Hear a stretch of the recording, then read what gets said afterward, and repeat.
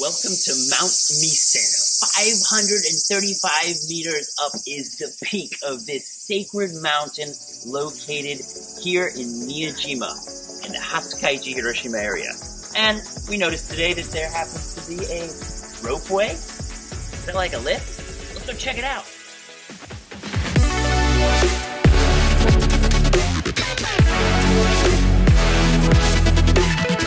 The Momiji Dani Park is one of the most famous Maple Leaf Valley parks in all of Japan because it has over 200 maple trees.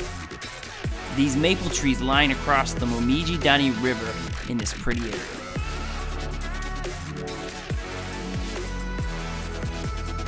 Misen has many courses you can take to get to different places. In our last video, we showed you the Tsutsumi Gaura Beach Park, and they have a course that goes to this beach as well. We can see the Momiji Dani station where we'll be taking a ropeway. There are other walking paths as well, which you can take to get to the top of the mountain, as well as this Okunoin Temple. In ancient Chinese and Japanese folk tales, they say that a carp, if it can swim upstream and jump over the falls, it can turn into a dragon. All right, little guys, let's get swimming. Is that why Magikarp can turn into a Gyarados? Gyarados? I think it's pronounced Gyarados. Oh no.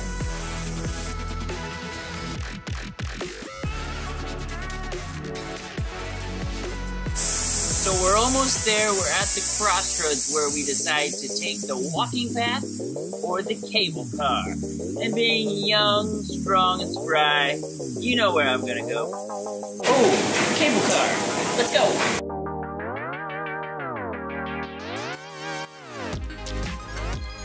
Here we go!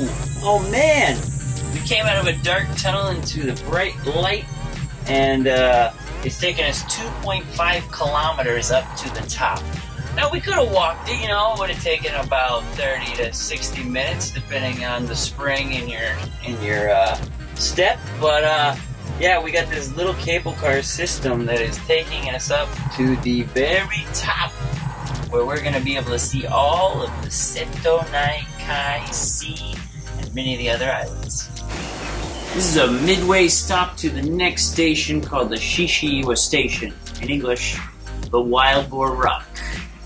We gotta transfer, and then it will take us up to the next station that will put us at the top. We made it to the top of the Wild Boar Rock Station, and now we've got one kilometer to get up to there. The Miyajima cable car and the observation tower at the top is only open till 4 p.m. So, if you're not careful and you don't get on that cable car before 4, you might be taking the walk down. Getting to the top, and we see a flat area here with a few temples or shrines. This area is called Reika Do, and Reika Do is a place where the eternal flame is held and a guy who came here 1200 over 1200 years ago and a guy who goes by the name of Kobo Daishi was on a spiritual mission to light that eternal flame. So supposedly he lit that flame and it was the same flame that was used to light the eternal flame in Hiroshima Peace Park as well. Let's go check out the flame.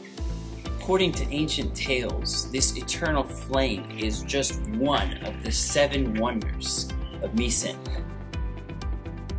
So here we are, 535 meters above Miyajima on Mount Misen, and we got the observation tower behind us that we're going to be checking out so we can see all of the beautiful conifer trees and the Seto Naikai Sea.